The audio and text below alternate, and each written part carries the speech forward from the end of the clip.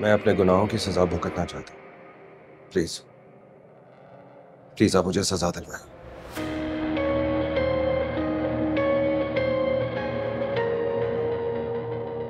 बैठो।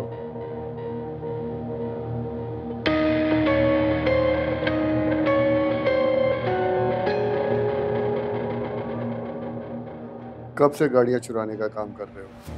और अब क्यों छोड़ना चाहते हो? ये काम नहीं करता मैं ऐसे